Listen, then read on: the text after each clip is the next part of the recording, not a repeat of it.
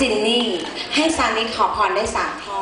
ขอพรสามข้อสามข้อจากแฟนคลับซันนี่จะขออะไรคะ จากแฟนคลับนะคะ อย่างแรกเลยคือขอให้ติดตามผลงานไปเรื่อย ๆ นะคะเอ่อพยายามทำผลงานออกมาอยู่เดี๋ยว ประมาณปีหน้านะคะ มีโปรเจกต์ใหม่ๆออกมา ซึ่งซันนี่คิดว่าทุกคนน่าจะพอใจนะคะ หลังจากที่ได้เข้าไปประชุมเรียบร้อยแล้วนะคะ ก็ตัวซันนี่เองยังชอบเลย เพราะฉะนั้นทุกคนก็คงชื่นชอบไปด้วยนะคะอย่างพรข้อที่สองก็คือเออขอให้ทุกคนสุขภาพแข็งแรงแล้วกันนะคะ รวมทั้งเอ่อครอบครัวซันนี่ด้วยนะคะ ก็ให้ทุกคนนะคะมีเขาเรียกว่าพลานามัยสมบูรณ์นะคะ ไม่ต้องไปจ่ายตังค์เรื่องเออสุขภาพเสียสุขภาพอะไรอย่างนี้นะคะ ก็เรื่องสุขภาพเป็นเรื่องสำคัญแล้วกันถ้าเกิดเราสุขภาพดีเงินทองก็ได้เก็บไว้ใช้แน่นอนค่ะโอ้ส่วน